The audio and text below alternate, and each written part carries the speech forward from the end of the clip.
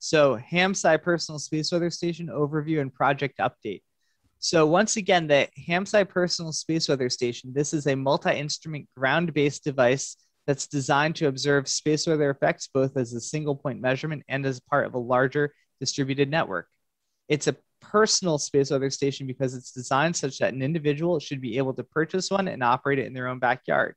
And the personal space weather station design, we are taking into account both the needs of amateur radio operators and professional researchers. And people from both sides are actively contributing to the design and planning of this project. We have two different branches of the personal space weather station. We have a low cost version called the GRAPE. This is being developed by Case Western Reserve University. The target cost is between 100 to $200. And this is aimed directly at monitoring Doppler shifts from the WWV standard station. So you'll hear more about the grape later from Kristina Collins and John Gibbons. And then we, on the performance based side of things, we have the software defined radio based Tangerine SDR, which is an HF FPGA based software defined radio with a cost target of between 500 to $1,000. This is much more, a much more robust device. You can actually make these nice oblique ionosons ion, ionograms, as you can see here. And you'll hear more about those later today. Our personal space weather station team is very diverse. So the University of Scranton is the lead on this project. Uh, TAPR, which is an amateur radio uh, electrical engineering organization, and Zephyr Engineering, they're leading the Tangerine SDR and the ground magnetometer hardware design.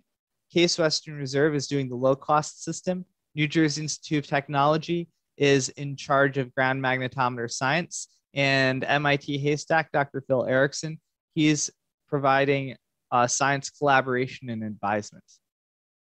And our current status, we've made great project progress. Uh, on the tangerine side of things, we're going to hear from Scotty Cowling, WA2DFI, in the next presentation.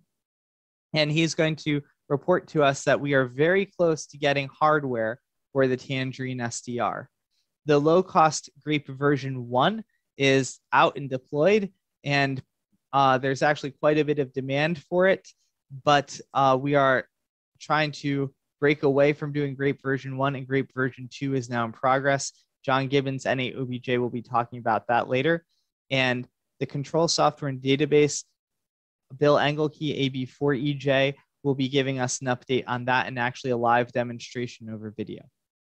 So thank you very much. We have a minute for questions as uh, Scotty gets queued up for the for his talk.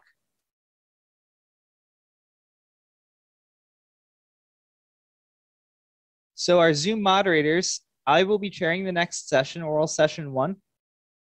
Our Zoom moderators will be Dr. Gareth Perry, KD2SAK from New Jersey Institute of Technology, and our student Diego Sanchez, KD2RLM, uh, he is a student at Essex County College and also NJIT.